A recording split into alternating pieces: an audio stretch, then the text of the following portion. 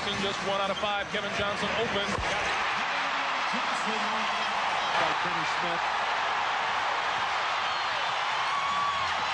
Kevin Johnson down the lane. Rudy Tomjanovich says timeout. Drexler finally breaks the run. The Suns' defense, though, has been stifling, with the exception of the first breakdown. Barkley go down Drexler. He anticipates a huge explosion. Kevin Johnson again. The guy that's going to have to keep him on the lead. Five seconds in the quarter. Kevin Johnson around his man, drives and scores.